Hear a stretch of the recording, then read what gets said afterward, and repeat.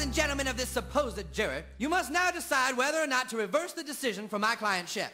I know he seems guilty, but ladies and gentlemen, this is Chewbacca. Now think about that for one minute. That does not make sense. Why am I talking about Chewbacca when a man's life is on the line? Why? I tell you why. I don't know. It doesn't make sense. If Chewbacca does not make sense, you must acquit. Here, look at the monkey. Look at the silly monkey.